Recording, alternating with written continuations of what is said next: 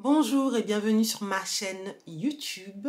L'an dernier, à peu près à cette période, j'ai une de mes abonnées qui m'a demandé si je pouvais faire une vidéo spécifique sur mes produits maquillage et aussi mes vernis préférés.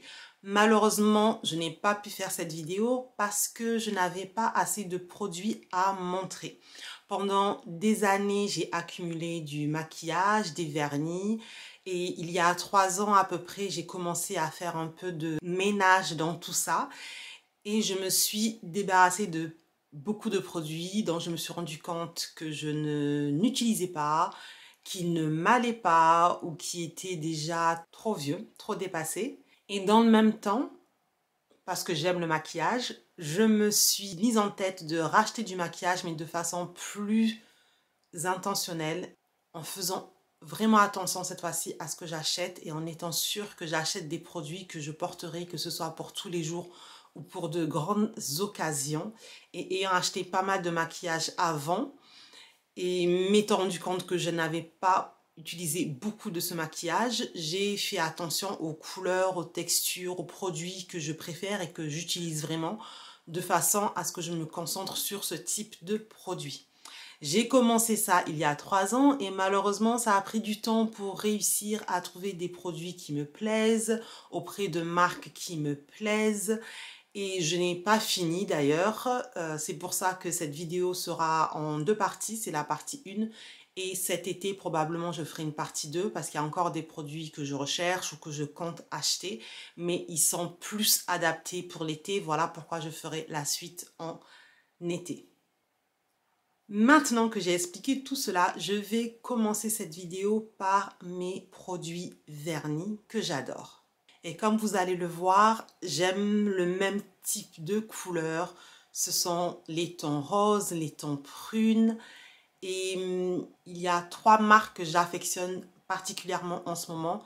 C'est la marque Cure qui fait sa publicité sur le fait que c'est une marque dit naturelle et clean. Est-ce que c'est la vérité? Honnêtement, je ne sais pas. Je n'ai pas regardé les ingrédients en détail et pour mes vernis, ce n'est pas quelque chose auquel je fais attention. Mais en tout cas, j'adore la sélection de couleurs qu'ils ont. J'aime aussi le pinceau qui est suffisamment grand pour ces vernis, pour mes ongles qui sont assez grands. Et j'aime aussi le fait que ces vernis sèchent assez rapidement. L'autre marque que j'aime beaucoup, c'est la marque Kiko, qui n'est pas chère et qui a des vernis de très bonne qualité, de très belles couleurs, comme vous pouvez le voir ici. D'ailleurs, aujourd'hui, je porte une des couleurs, qui est la couleur 110. Et pour finir, la dernière marque que j'aime beaucoup, c'est la marque Mavala, qui est une marque suisse, mais que si vous vivez en France, vous savez très bien qu'on la retrouve partout en France, dans les parapharmacies, dans les monoprix. Et j'adore les couleurs qu'ils ont. J'aime aussi le fait que ça vient dans de petits pots parce que ça permet d'éviter le gaspillage. Alors là, vous avez une sélection de tons roses, c'est ce que j'aime porter en ce moment, mais sinon les couleurs que j'aime porter habituellement, c'est aussi bien les roses que les différents tons rouges ou nude. Pour ma base, je n'utilise que la marque Cure. Ils ont une base qui s'appelle la Super Base et une autre qui s'appelle la First Base. Il n'y a pas de raison spécifique qui explique que j'ai deux bases différentes. J'en ai acheté une et puis l'autre sans me rendre compte que ce n'était pas la même chose. Ça fonctionne de la même manière. Je n'ai rien à dire, donc ce n'est pas quelque chose que je compte changer. Ensuite, pour le top coat, j'utilise celui de la marque Kiko depuis peu, en fait depuis cette année, qui s'appelle le Gel Effect Top Coat. Celui-ci m'a été conseillé par une vendeuse qui m'expliquait qu'en utilisant deux couches de ce top coat, ça donnait un aspect gel au vernis. Alors, je n'ai jamais fait de gel, donc euh, je ne peux pas vous dire exactement si c'est la même chose, mais en tout cas, ça donne un très bel aspect au vernis et ça permet au vernis de durer plus longtemps. C'est ce qu'elle m'a dit et c'est ce que j'ai effectivement remarqué. Aussi, ce que j'aime beaucoup avec ce gel, c'est que bien qu'il ne promet pas de sécher rapidement, je trouve qu'il sèche assez rapidement. Donc, ça a un effet longue tenue, gel, mais en plus sèche vite. Donc, pour moi, c'est juste parfait. Concernant mon dissolvant, j'achète depuis des années celui de la marque Bourgeois qui est sans acétone.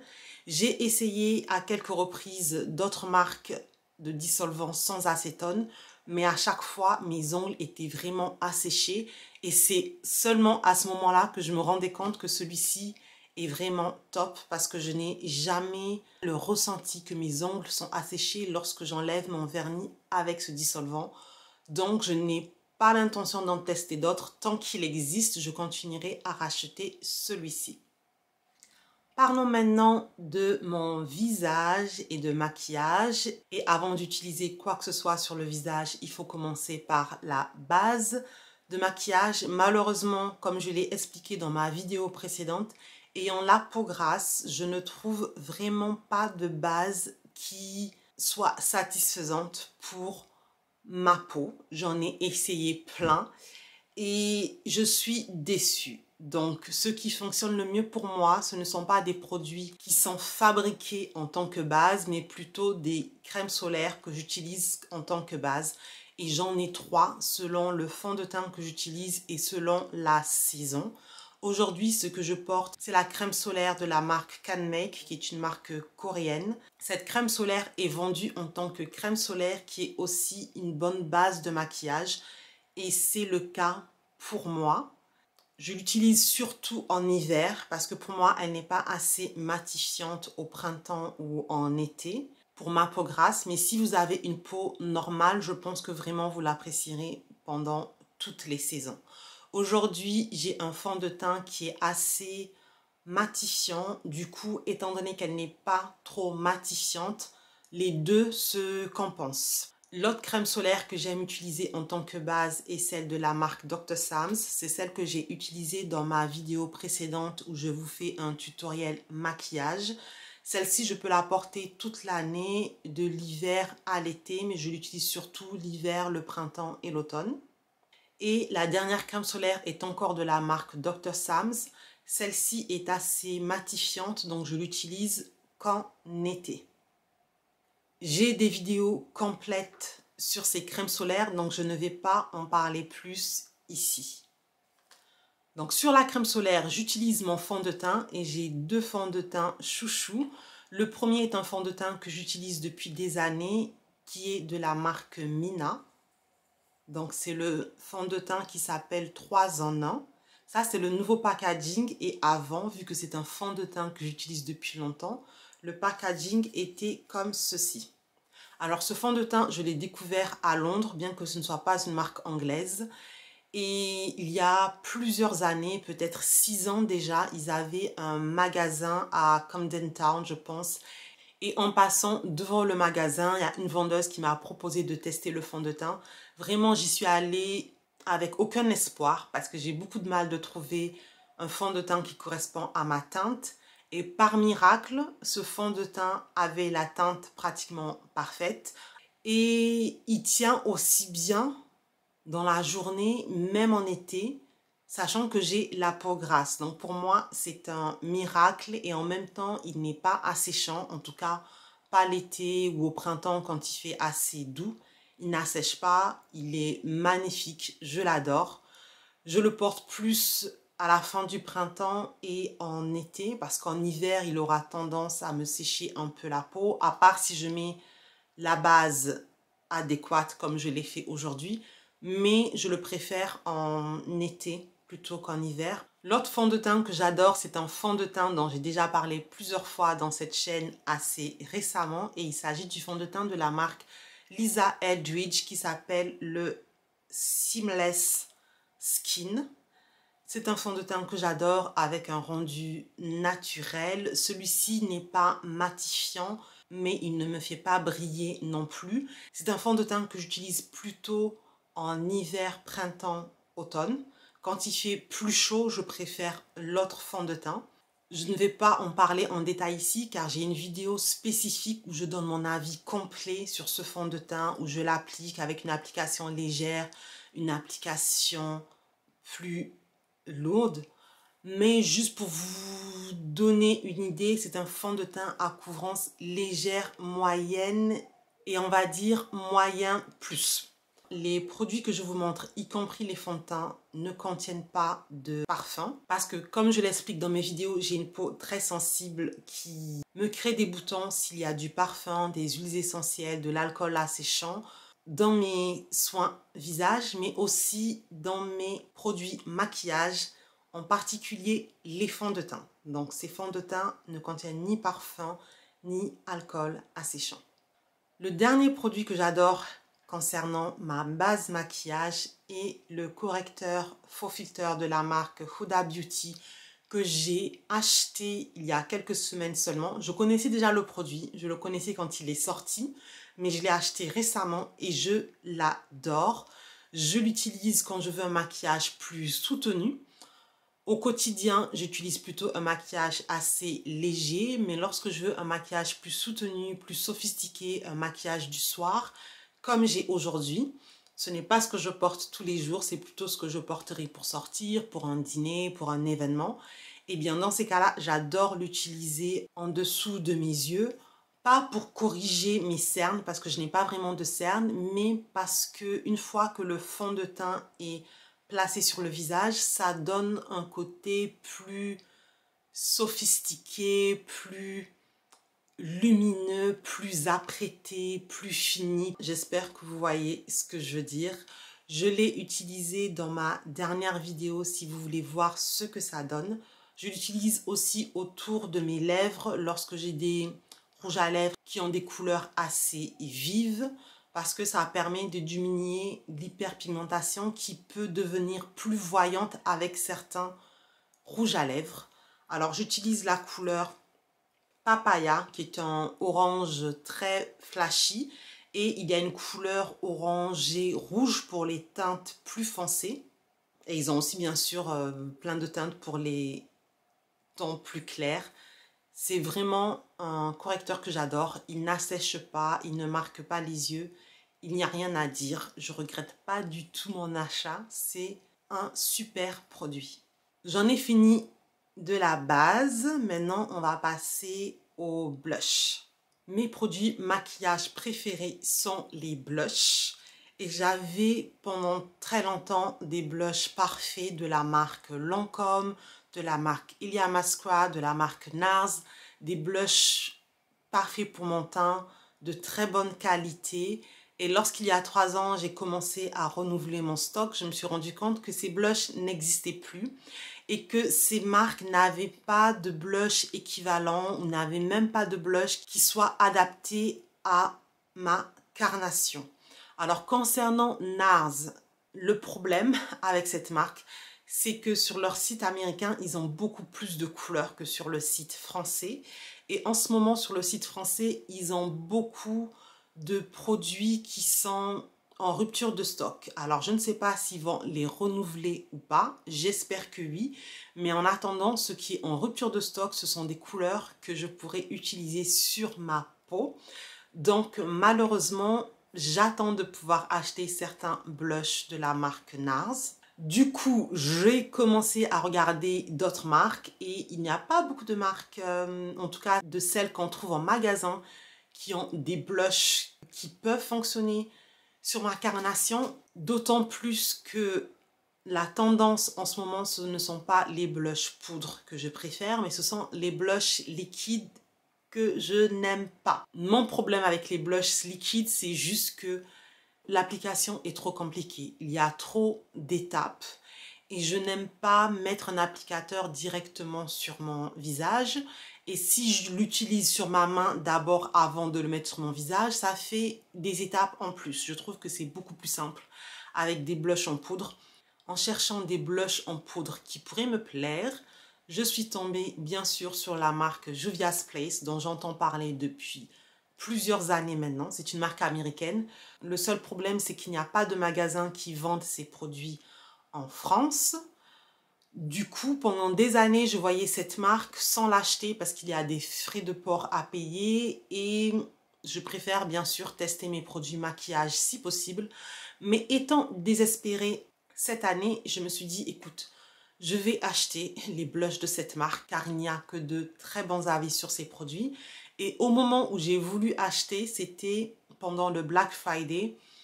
Durant lequel ils ont mis leur blush à 50%. Ce qui fait que même avec les frais de port, ce n'était pas si cher. Du coup, j'ai acheté deux palettes de blush. Dans chaque palette, il y a deux blushs. Donc, j'ai acheté quatre blushs. J'ai d'abord celui-ci, qui est la palette euh, volume 3. Ce blush-là, qui est un rouge marron orangé et celui que je porte aujourd'hui. Je trouve que sur ma peau, c'est un blush qui fait vraiment naturel et que je peux porter avec n'importe quel maquillage et pendant n'importe quelle saison. Le rose qui est ici, je l'ai porté plusieurs fois déjà, je l'adore.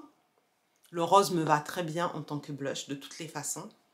Si c'est la bonne teinte de rose, et la deuxième palette, c'est le volume 1.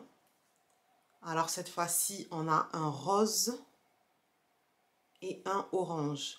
Le rose, ce rose-ci, par contre, c'est un rose que je dirais poudré. Ce n'est pas un rose flashy.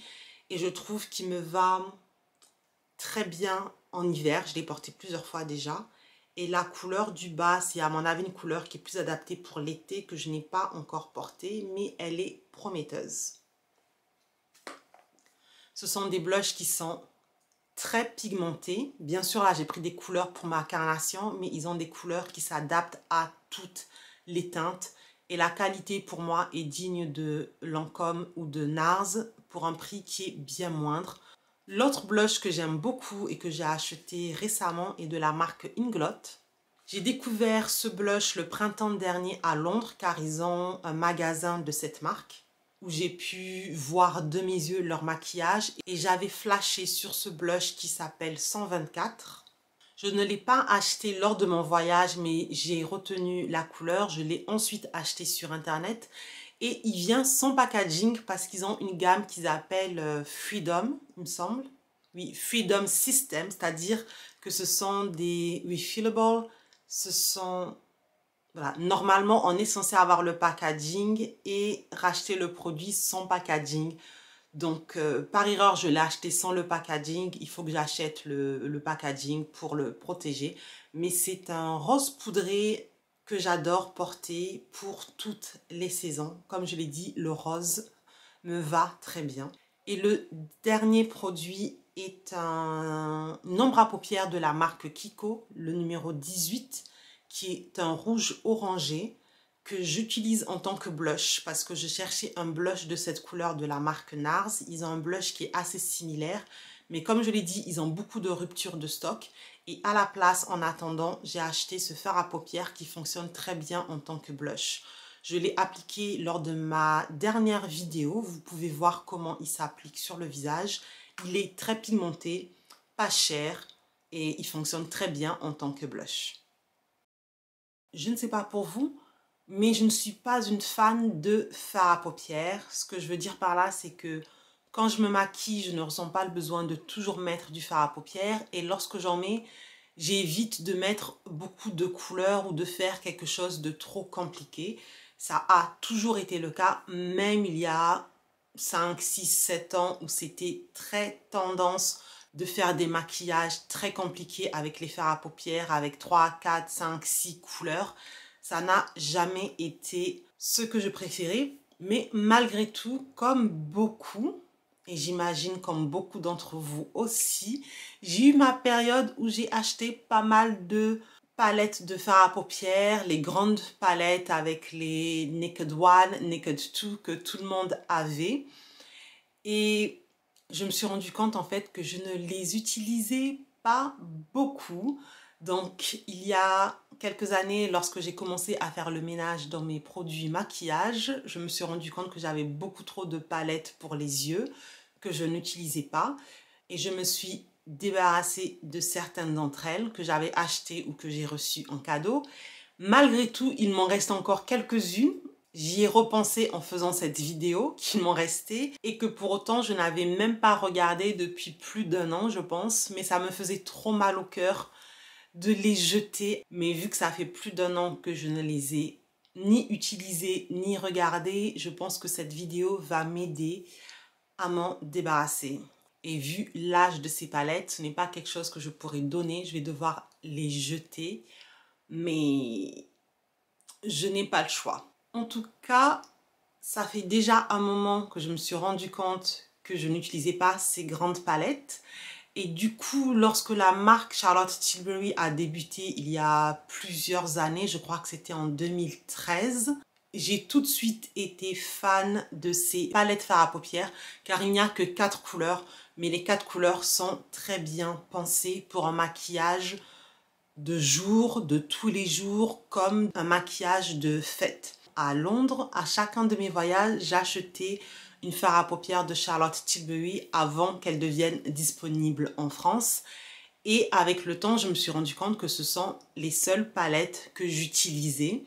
Et surtout quand j'allais en vacances, je choisissais toujours une ou deux palettes de Charlotte Tilbury en sachant que je pourrais faire un maquillage pour la journée et pour le soir avec une seule palette. Non seulement j'aime le fait qu'il y ait de fard à paupières, mais j'aime la qualité de ces fards à paupières qui sont très faciles à estomper, qui sont suffisamment pigmentés, qui tiennent, en tout cas sur mes paupières, ça tient très bien. Et j'aime aussi le packaging. Vu le prix, il vaut mieux un packaging de qualité à ce prix-là. Et je trouve que la qualité est là. Ce que je porte aujourd'hui, c'est la palette Vintage Vamp. C'est ce que j'ai au niveau des yeux. J'ai utilisé deux couleurs. Pendant plusieurs années, je n'ai utilisé que ces palettes jusqu'à ce que l'année dernière, la marque Lisa Eldridge lance ses fards à paupières. Elle a lancé cinq palettes et deux m'ont intéressée, donc j'en ai acheté deux. La Cinnabar palette que j'ai utilisée lors de ma vidéo précédente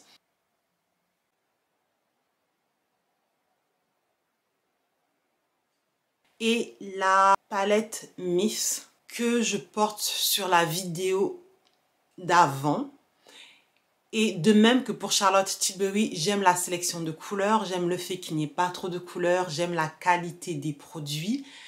Et avec Lisa Eldridge, j'aime le fait que ce soit une marque qui ne va pas juste suivre les tendances. Je veux dire par là que je ne pense pas que ces palettes vont disparaître demain. Pour Charlotte Tilbury, il y a eu beaucoup de changements au niveau de sa marque. Certaines palettes ont disparu, de nouvelles palettes arrivent, certaines palettes sont en édition limitée, certaines palettes ont changé de nom. Par contre, moi, je n'achète pas de maquillage en édition limitée. C'est quelque chose qui m'énerve. Si un produit est bon, sortez-le, mais s'il vous plaît, pas en édition limitée. Donc, tout ce qui est édition limitée, je n'achète pas. Et ces dernières années, j'ai remarqué que Charlotte Tilbury a pas mal de produits en édition limitée, y compris des palettes pour les yeux. Mais ce n'est pas quelque chose vers lequel je vais me tourner. En dehors de ces fards à paupières, honnêtement, il n'y a pas vraiment de fards à paupières qui m'intéressent. Comme je l'ai dit, même si j'en utilise, ce n'est pas ce que j'utilise le plus, ce n'est pas ce que je préfère dans le maquillage. Et d'ailleurs, très souvent, je peux me maquiller sans mettre de fard paupières. J'ai une vidéo sur mon maquillage de tous les jours dans lequel je n'utilise pas de fard à paupières. Donc ce que j'ai pour l'instant me suffit. La seule chose qui pourrait m'intéresser pour l'été, ce serait des fards à paupières crème. Et si je trouve ce qu'il me faut, j'en parlerai dans la vidéo de mes maquillages préférés pour l'été.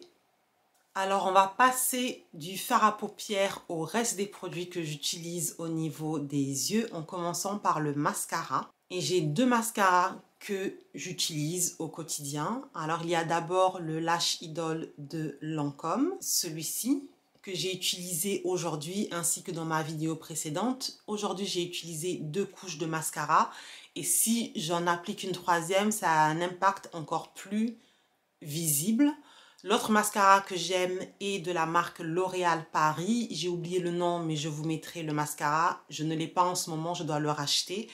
Et celui de L'Oréal, je l'utilise plus pour tous les jours. Et celui-ci, vu qu'il est plus cher, je l'utilise plus pour des événements ou quand je veux un impact plus flagrant au niveau des cils. Mais les deux sont très bien pour mes cils. Et au final, lorsque je regarde les mascaras que j'aime, en général depuis des années.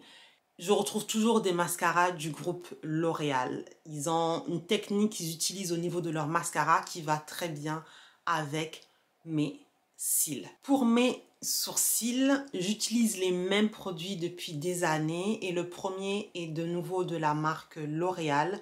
Il s'agit de leur euh, Plum Pencet Bro Artist.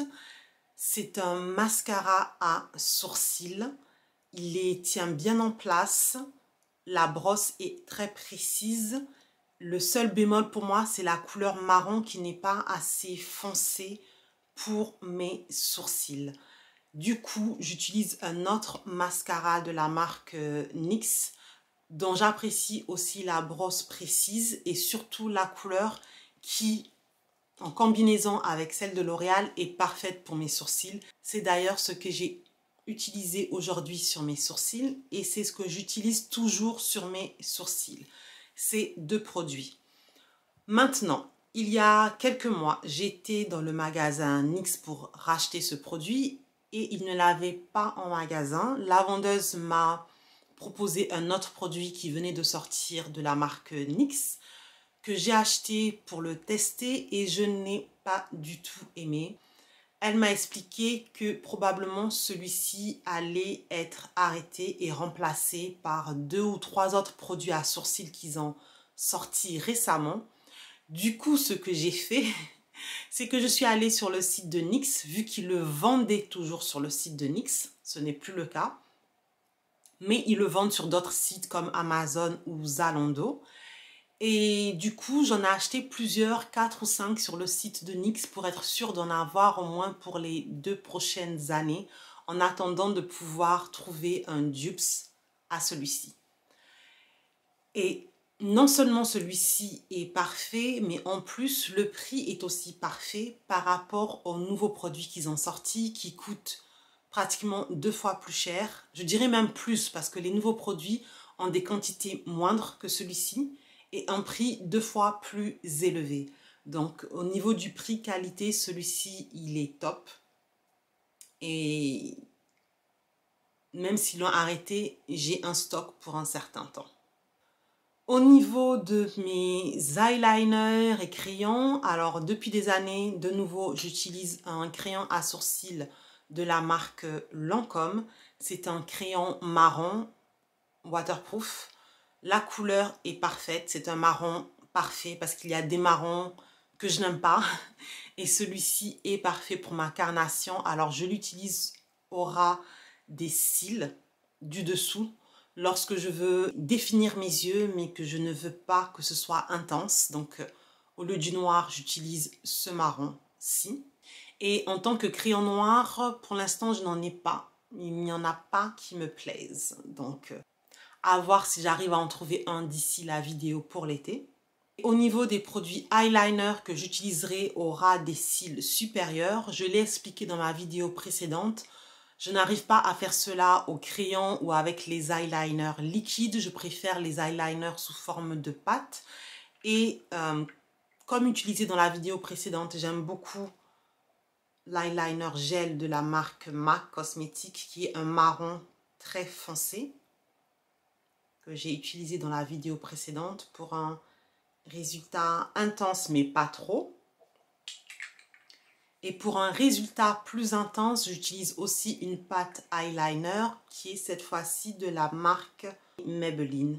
Lorsque vous achetez l'eyeliner de Maybelline, il vient toujours avec euh, un pinceau pour l'appliquer et je trouve que le pinceau est aussi de très bonne qualité. On arrive vers la fin de cette vidéo. Je vous présente les derniers produits et cette fois-ci, il s'agit des rouges à lèvres. Alors, j'adore les rouges à lèvres depuis très longtemps.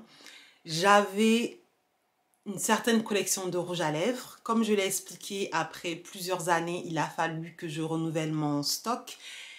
Et ça a été compliqué parce que je n'arrivais pas à trouver de rouge à lèvres que j'aimais, contrairement à avant.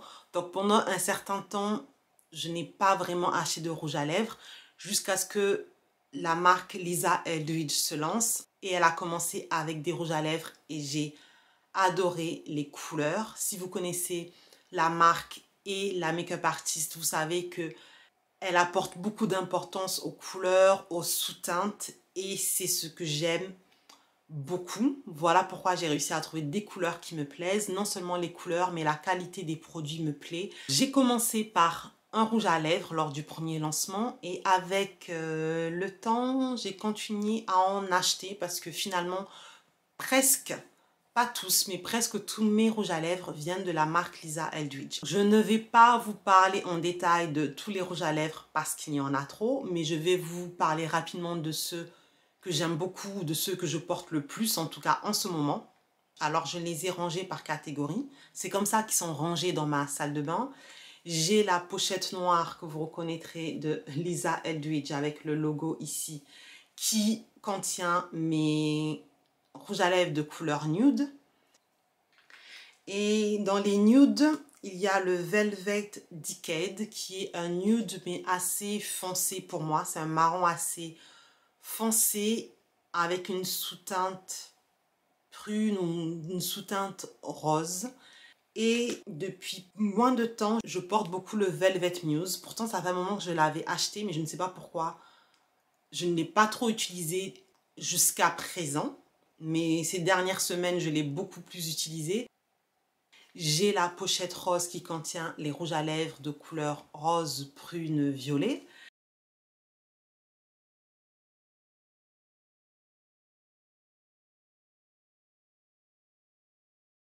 Et j'ai la pochette rouge qui contient bien sûr les rouges à lèvres de couleur rouge ou avec des sous-teintes rouges. Dans la pochette rouge, alors ce que j'aime beaucoup utiliser, il y en a deux. Alors il y a le lip gloss Cinnabar que j'ai porté dans ma vidéo précédente. C'est un rouge foncé orangé qui n'est pas si foncé d'ailleurs sur mes lèvres. Je vous montrerai un exemple. J'aime beaucoup, j'aime beaucoup la qualité de ces lip gloss qui est très hydratante. En hiver, je peux porter ce baume à lèvres dehors sans avoir mes lèvres qui s'assèchent. Donc je l'adore. Et une autre couleur que j'aime beaucoup dans les rouges, c'est le Velvet Jazz, qui est un rouge qui m'illumine vraiment le teint et qui est facile à porter sur ma peau. C'est un rouge que je peux vraiment porter très facilement. C'est comme s'il était fait pour moi en fait. Si je ne sais pas quoi mettre pour une soirée, je vais mettre le Velvet Jazz. Si je n'ai pas le temps de réfléchir, je mets le Velvet Jazz. Je peux mettre du mascara sans mettre de fard à paupières, un peu de blush et c'est parti. Ça me fait un très beau look. Le rouge à lèvres que je porte aujourd'hui n'est pas de la marque Lisa Eldridge parce que je voulais vous montrer autre chose que toujours la même marque. Il s'agit de la marque Bobbi Brown et c'est la couleur Blackberry, c'est celle-ci. Et c'est une couleur qui a un mélange de rouge, de prune, de marron. On ne sait pas vraiment quelle couleur c'est, c'est ce que j'apprécie. Des fois ça tend plus vers le marron, des fois un peu plus vers le rouge. Et selon la quantité que l'on applique, l'intensité est vraiment très modulable.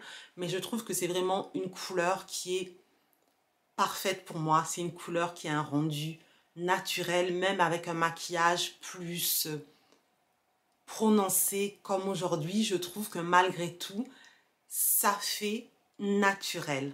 Je vous ai montré tous les produits que j'avais à vous montrer aujourd'hui. Ça en fait pas mal, mais je dois dire que je suis fière des produits maquillage que j'ai car ce sont des produits que j'aime beaucoup, que j'utilise, qui ne dorment pas dans les placards. Et comme je l'ai expliqué, il y a d'autres produits que je compte acheter mais qui sont plus adaptés vraiment pour l'été. Donc je ferai une autre vidéo. Mais je ne pense pas en acheter beaucoup plus non plus. Si vous avez des questions, surtout n'hésitez pas à me les poser. J'y réponds toujours.